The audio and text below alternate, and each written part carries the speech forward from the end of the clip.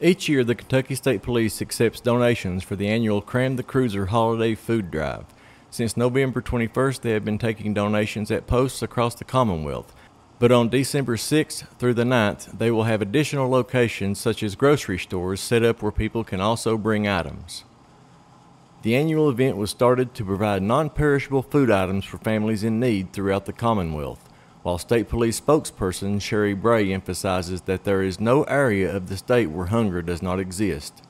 At Audiology Associates of Prestonsburg, you can live your life the way you want and find the freedom of better hearing. With 40 years of being in the hearing care industry, you'll experience patient care that is specific to you with exceptional follow up care that ensures your hearing and balance needs are being met. Audiology Associates at 1428 North Lake Drive in Prestonsburg. KSP also teams up with grocery and retail stores for special collection events to draw attention to our needs. These signature events will take place at designated grocery stores across the state.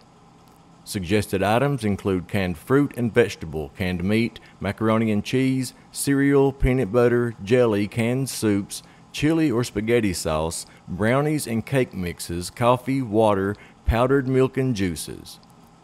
Food items may also be dropped off at local post locations such as Post 9 in Pikeville and Post 13 in Hazard. Reporting for Mountaintop News, I'm Sheldon Compton.